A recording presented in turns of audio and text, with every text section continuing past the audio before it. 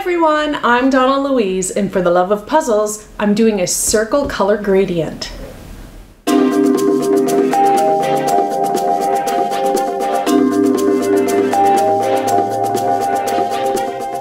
I'm so excited for this puzzle. Not only is it a circle puzzle, it's a color gradient. And I've found a new love of both of those types of jigsaw puzzles. Now this one's called Blazing with Color. It's a thousand pieces from Play Studio. That's not a brand that I'm familiar with, so I'm a bit worried about the quality of the pieces. We'll have to wait and see. Now, on the front of the box, there appears to be the solution key for the jigsaw puzzle. I don't know if that's just an aesthetic design or if it's true that when I finish the puzzle, I'll be able to compare the pieces and they'll match up.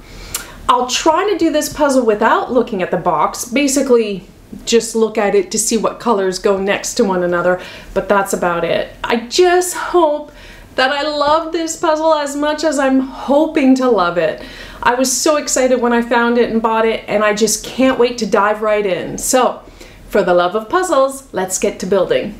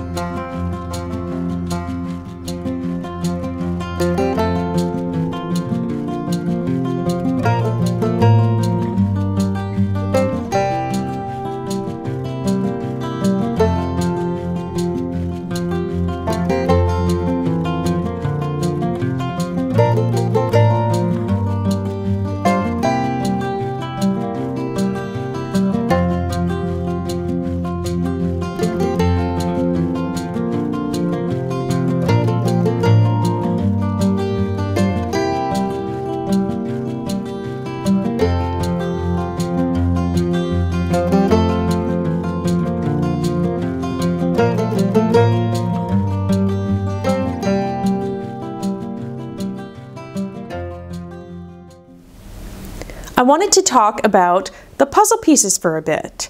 This is not a spiral puzzle. It is concentric circles. And if you look, the center piece, hopefully that comes across on camera with the glare, is actually more of a square piece. And then the following pieces slowly curve and curve until you get really nice circles one after the other.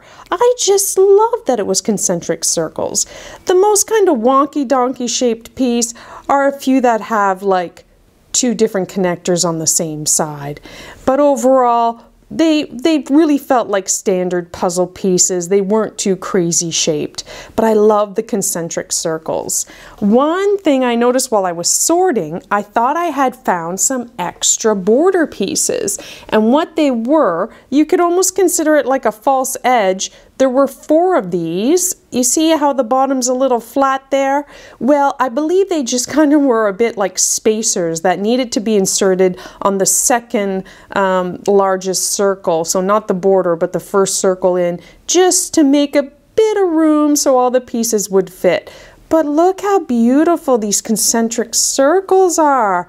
This is just one of the wedges from uh, the puzzle. Of course, it's the purple wedge, my favorite color, purple. But yeah, so I had found four of these kind of false edge pieces, and I was a bit worried about where they went, but sorted that out pretty quickly. More like a spacer piece that needed to be in there in order to make the circle work. But yeah, how lovely is that? Concentric circles. I wonder if there's more puzzles, like circle puzzles, that are concentric circles like this one. And it's done! And I loved every minute of it. I enjoyed this puzzle so much. I enjoyed the fact that it was a circle puzzle and it had a few like wonky pieces, but not too many. I enjoyed that the border was fully locking and I just enjoyed the color gradient aspect so very much. I felt the puzzle was easy to assemble the difficult part came when I tried to tape the puzzle and break it up into sections so I could store it to pull it out at a later date. That's when I noticed how sticky and how uncooperative the pieces are to work with. But while I was assembling the puzzle, I didn't have an issue, maybe because I wasn't trying a lot of pieces in the wrong place. Perhaps then I would have noticed how much they stick to one another. Now I realize the typical puzzler doesn't tape the back of their puzzles, so that's just an issue for me, but boy, that was quite a chore. Um, the front of the box does not match up with the puzzle. I was able to complete it without trying to look at the front of the box. I felt it was very nice how the colors like gradiently went into one another. So I didn't feel the need to ever pull out the box. It was only after I finished the puzzle I compared the pieces outline to the front of the box. And at first I thought, oh yeah, it's matching up. Well, three or four pieces may seem the same, but then it was different. So that will throw you off track if you try to use the front of the box to solve the puzzle. The other thing that I've noticed so far I've only done two color gradient puzzles, but with both of the puzzles, for me, it was the orangey to reds to pinkish section that was the most difficult because for me, it felt like the most difficult to differentiate between the shades. So that took a little bit longer and it did also for that glitter Ravensburger puzzle I previously did but I had so much fun doing this. I loved every minute of it. It's all nice and taped up now, so I'm going to store it with the glitter puzzle. I want to get more color gradient puzzles. I want all the color gradient puzzles, and I want to just put them out next to one another eventually. But it was lots of fun. I truly enjoyed it. Is there a type of jigsaw puzzle that you enjoy so much that you just want to do every single one that comes out, whether it's a certain image type or scenery or say funky shaped puzzle or a circle puzzle? For me right now, I found a newfound love for color gradient puzzles and for Krypt puzzles. Yes, and I enjoy them very, very much. But let me know in the comments below what's your like go-to jigsaw puzzle. Thank you so much for watching. I really appreciate it. For the love of puzzles, I hope you enjoy my videos. Please consider subscribing, and until next time, ciao!